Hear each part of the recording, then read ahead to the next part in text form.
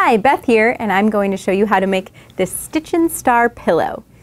It's a great skill builder because you get to work on piecing, quilting, binding, and then you have a lovely decoration for your sewing space. So first you'll want to cut out all your pieces according to the cutting instructions.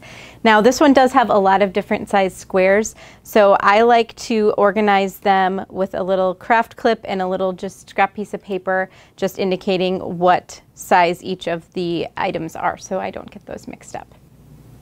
So first we're going to make some triangle squares. So we're layering our 3 and 1 8 inch squares right sides together with the lighter one on top because we're going to mark that. We're going to mark a line from the corner to the corner.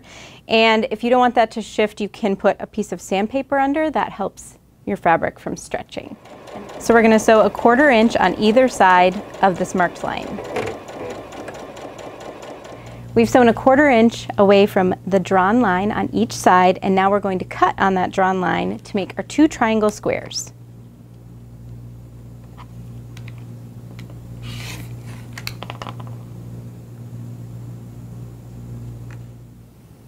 So you'll take your triangle squares and lay those out with your two and three quarter inch light print squares here.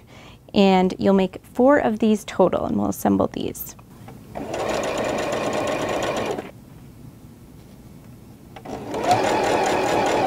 Now we'll move on to making the flying geese units. So we're going to take our dark print and mark a diagonal line on the backs of those with this dark fabric, it is kind of tough, so you can use a white marking pencil or you can use tailor's chalk, anything like that that you can see that line have that show up on the back.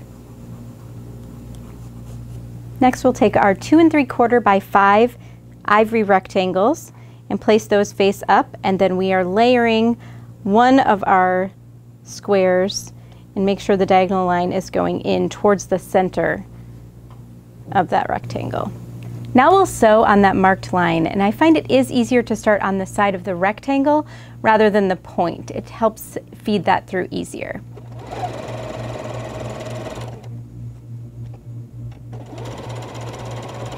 Next we'll trim and leave a quarter inch seam allowance.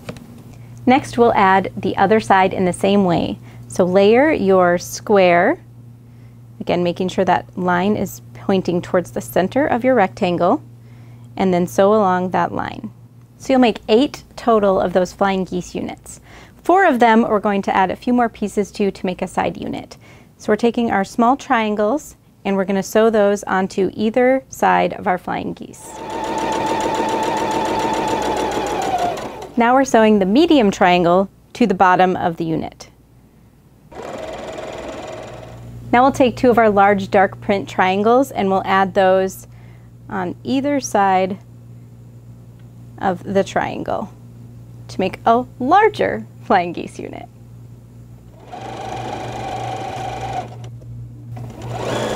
We got this really cute panel from Northcott. It's called Stonehenge A Stitch in Time. And these were the perfect size for the center of our pillow. So we've assembled the center blockets with our four flying geese units and then four solid squares around our little fussy cut panel piece. So now we're ready to assemble the center of our pillow. So we've got our center and then our four side pieces and then our four corner pieces. And we will assemble those in rows.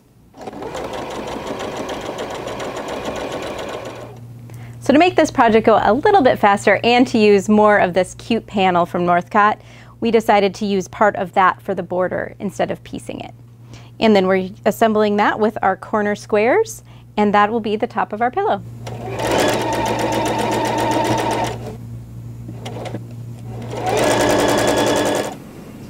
So we finished adding the borders to our piece top and I've layered this with batting and our backing fabric. You can use muslin too. And then I've used a spray baste to baste all the layers together. Next, we'll prep our machine for quilting. So I have added the walking foot to the machine. This just helps all the layers feed through evenly. And I'm going to add the extension table. That gives us a little more room to support our project as we're working on it. So you take your accessory tray off. And then you can just slide on the extension table. So that gives us a lot more room to work with and it will just help your project not pull as much off table. I'm newer to quilting, so I do like to do a little marking before I get started. I did find this really fun tool in the Fashion Starter Kit from Eversewn. It's a crease marking tool, so you can just pull that along your ruler and it leaves a crease for you to follow.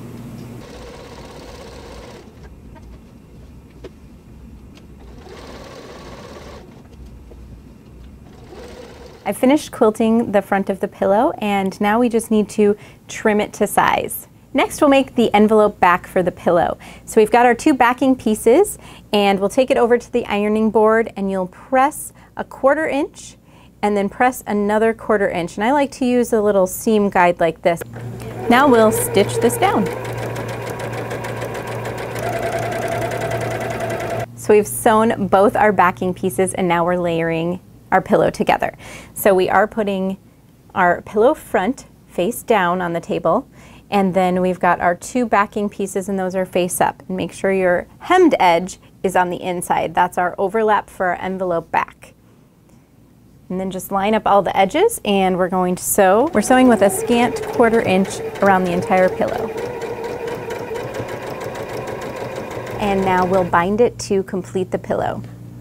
So we'll sew the binding onto the front and then wrap it around to the back and hand stitch. So we've stuffed it with a 24 inch pillow form and it's ready to go. It's so cute and would make the perfect decoration for your sewing space.